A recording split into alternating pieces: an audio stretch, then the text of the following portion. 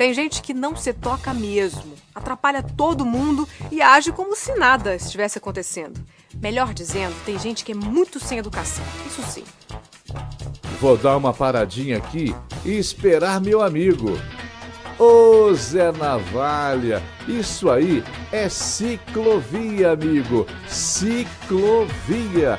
Não é pista, nem muito menos estacionamento. Ó, e nem adianta dizer que não viu, porque o ciclista até te deu uma bronca, hein? Cria vergonha nessa cara de pau, ô Zé Navalha!